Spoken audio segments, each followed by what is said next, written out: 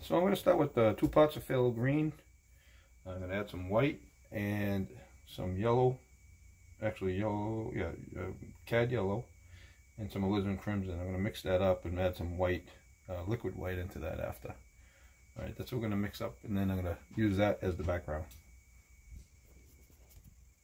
So I mixed up two pots phthalo green, two pots of uh, cad yellow, and then I'm using about eight pots of white, and then there's one pot black right here.